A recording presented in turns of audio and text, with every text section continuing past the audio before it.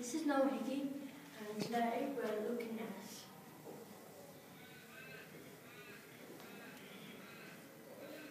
sets.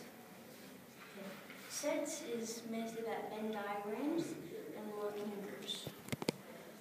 This is a Venn diagram with three circles T, H, and I. Uh, they're all broken into four segments because so there's three circles in total. That's not four circles. That's just T and H. That's that's just T and I, and that's just H and I. So T, the entire circle, is 22. So the entire circle is 22.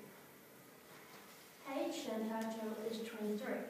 And I, the entire circle, is 23 as well.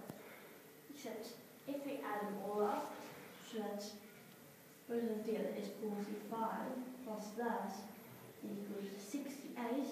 Now can we get 68 to 50? Well, mainly just trial and error.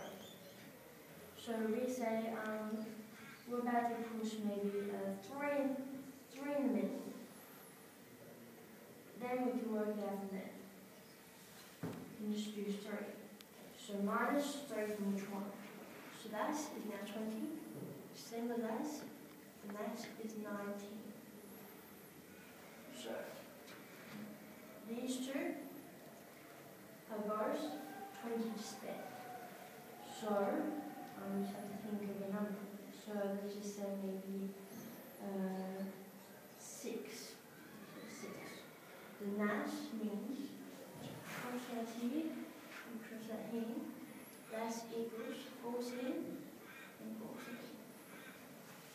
Then can maybe push uh, right here, numbers right here, and add 11 to one. So that's that's equals 23. Since you add 6 and 3 equals 9,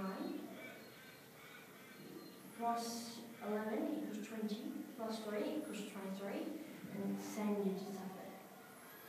So now, since you have all that, that equals 9, and we have to guess to 22 from the 9.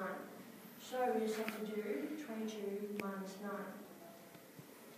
Okay, so 22 minus 9, and that equals 13.